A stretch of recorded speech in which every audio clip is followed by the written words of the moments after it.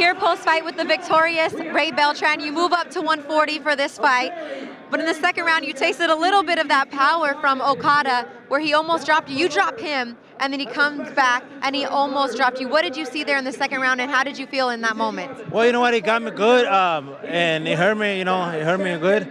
But I was trying to be patient, try to look all his punches, and and my my, my body didn't respond well to get out of the, the, the, the ropes, you know, but I was very aware to try to block the punch. I think uh, I, stayed too long in, in the ropes, and I took a, a lot of chance there, but, you know, we made it.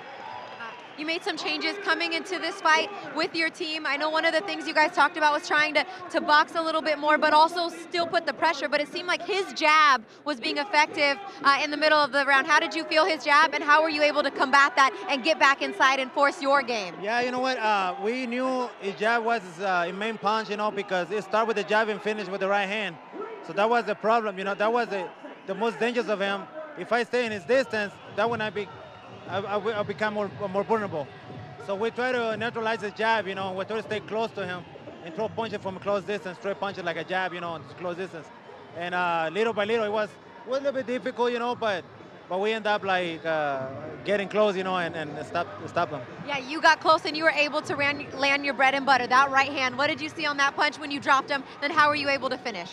Well, you know what? Um, we knew, we also thought about like his right hand is was open for the right hand. And we, I was trying to set it up, but you know, but I was busy with other punches. I, he, didn't see it coming. Also, he didn't give me the distance, but he came in the right moment, you know. And, and when when as I'm hurt, I was trying to go with a over right hand or, or, or hook and uppercut.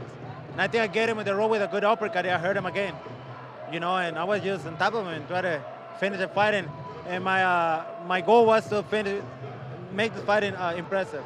I hope people, all the fans, like it. I think the fans were excited about the fight, and I think that this was a big win for you, a win that you needed to put you back on the winning track. And now, 140 or 135, where do you want to go from here? You know, we're open for any opportunity. You know what I mean? Uh, we just open. You know, we uh, they can ring. You know, call. Whatever call happens, whatever, whatever, they happens. say. Yeah. You've always been that kind of fighter. Whatever they bring to me, I'm gonna take the challenge. There, yeah. Right. Uh, I want to dedicate this fight to my daughter. Uh, she's uh, 15th, 15th birthday on February 14. Uh, that fight is for her. And also, I want to dedicate the fight to dedicate the fight to uh, the the people that fighting cancer. You know, they're going through a big struggle. Uh, it's uh, I mean, I can't even imagine how hard that can be, but all my heart goes to them. You know, and thank you, thank you very much. Happy birthday to your daughter, and thank you for being a class act. And congratulations on the win tonight. Thank you, thank you. Thank you, Ray.